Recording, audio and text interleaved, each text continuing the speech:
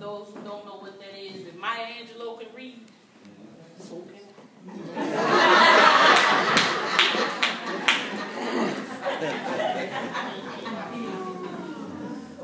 I've traveled from the motherland into the 20th century.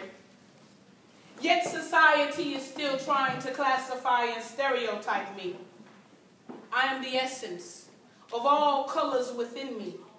From bondage to President Obama, my knack for victory precedes me. From Cleopatra to the Statue of Liberty, I am unique and proud to represent all the beautiful aspects of our women's history. I am more than skin tones and hues of black, brown, tan, and even beige. My significance was in my conception, not when Abraham freed the slaves. My history goes deeper and further than the discovery of the new world. I am a black woman, mother of every man, woman, boy, and girl. I am the reflection of nature, of nature, captured in my natural self. I am 20th century fine even when using the retail products off the shelf. I am style, grace, and a huge dose of human rights and liberation. I am the mother of nonviolent protest, feminine movements, and positive communications.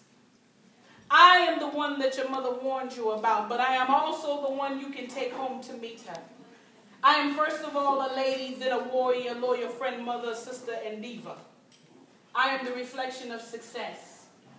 No matter the hue of my humanity, I am what the pursuit of happiness looks like when you see the determination inside of me. I am woman, created to create, nurture, care, shape, and to mold. I am the foundation of all generations in my many colors bright and bold. My complexion is just the outside, but the inside is just the same. I am a proud black woman, no matter what I wear on my feminine frame. I will continue to do my God-given duty, to populate the world with positivity. I carry the burdens of many on my mission, so I ask that you all continue to pray for me, because I am a proud black woman.